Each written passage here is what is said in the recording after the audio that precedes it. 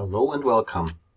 In our video series on the Heliocentris Hybrid Energy Lab, we are now taking a closer look at the battery modeling. The didactic approach for advanced training and applied research seamlessly integrates the three essential steps of knowledge gaining, providing a turnkey solution. The first step is the observation and measurement of component and system responses. Second, we are using the model and curve fitting to derive a quantitative description.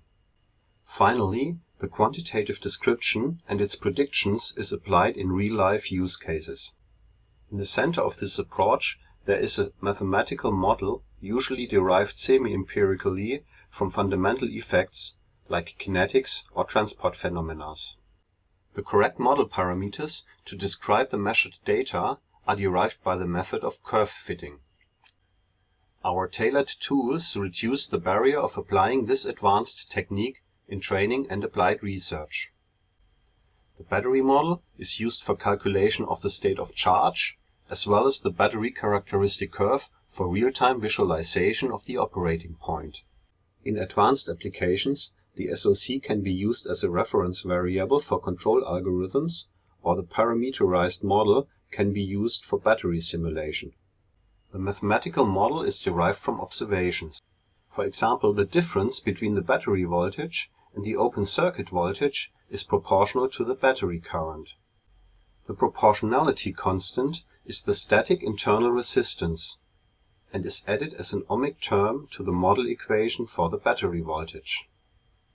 On the other hand, the battery voltage drops when the capacity expires. This translates into a term with a pole when the integrated current reaches the capacity Q. The voltage peak at full charge adds another term which is a function of the integrated current. Finally, a low-pass filtered component models the inertance of the battery voltage to quick load changes. Details on the model can be found in the publications of Tremblay et al. or the MATLAB library. To interactively experience the model we use the Battery Model module from the Theory menu. It evaluates the model for given parameter sets and different predefined scenarios, like constant current discharge and charge, deep and fast cycles, and load ramps.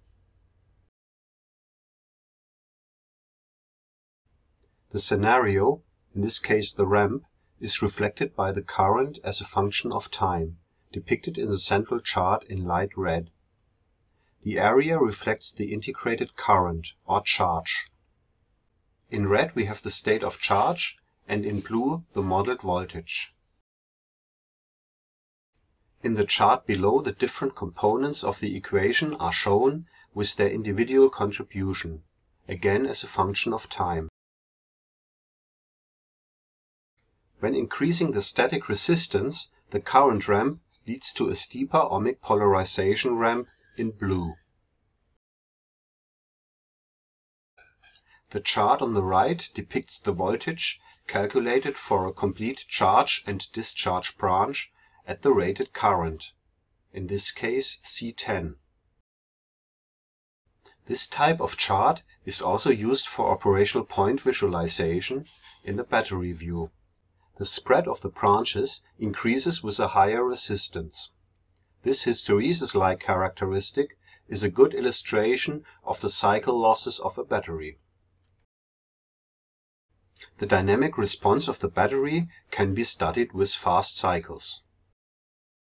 The low-pass filter constant tau has a direct effect on the transient battery voltage and the corresponding polarization in red. However, there is no effect on the static cycle.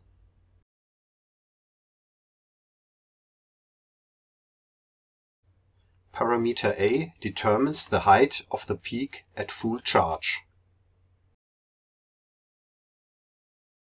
And parameter B its width.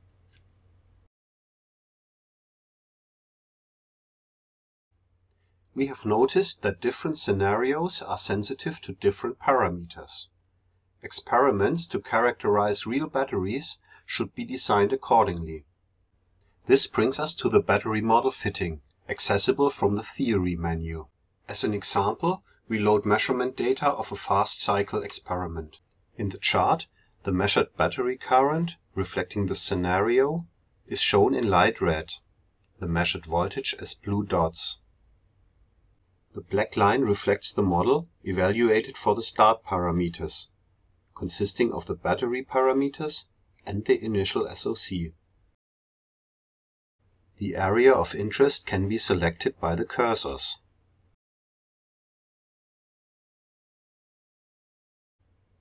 Let's recall that the dynamic behavior is governed by the low-pass filtered component. From the equation we can identify the relevant parameters, k1 and tau. We can manually fit the model to the data by adjusting the start parameters and observe the result as the black line is updated. By use of an optimum finder, the fitting can be automized. The selected parameters are varied in the defined range to minimize the residual.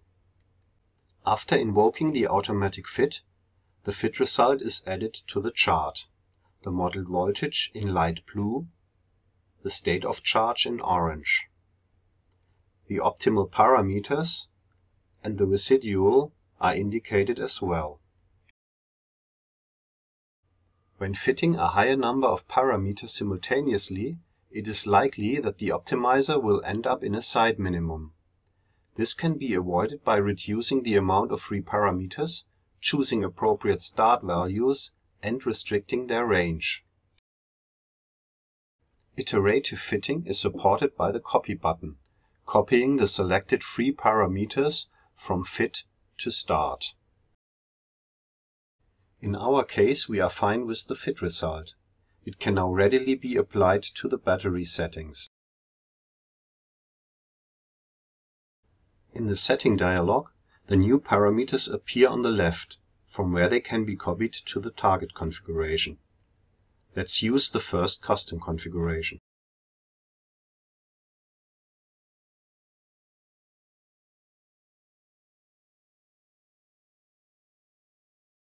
By activating the configuration, the model parameters will be further on used for SOC calculation and visualization. Taking a close look, the operating point is not on the static discharge branch of the model calculation for the actual current. The small open cycle indicates the transient modeled voltage. Assuming our parameter set provides a good representation of the actual battery, the currently assumed state of charge must be incorrect. A higher SOC would be expected at the measured voltage and current. In this case, the auto SOC function comes into play. In case of a deviation, the SOC is recalibrated to map the modeled to the measured voltage.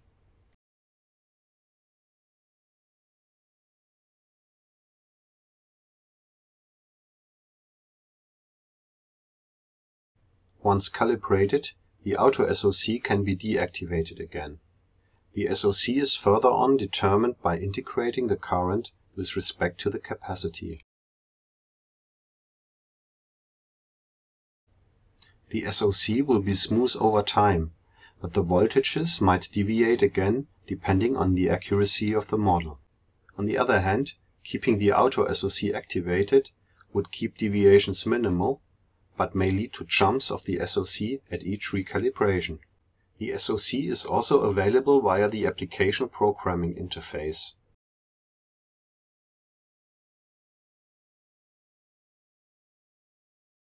Heliocentris provides an example application, including source code, that implements an energy management algorithm for SoC-based battery cycling.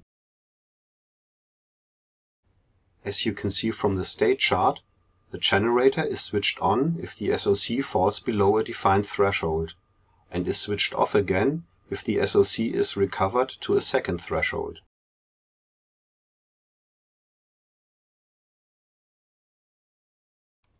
This concludes our video on battery modeling with the Heliocentris Hybrid Energy Lab. I hope you got an idea how the didactic approach of seamless integration of measurement modeling, and application can excel your advanced training and applied research projects. Thank you for watching and goodbye.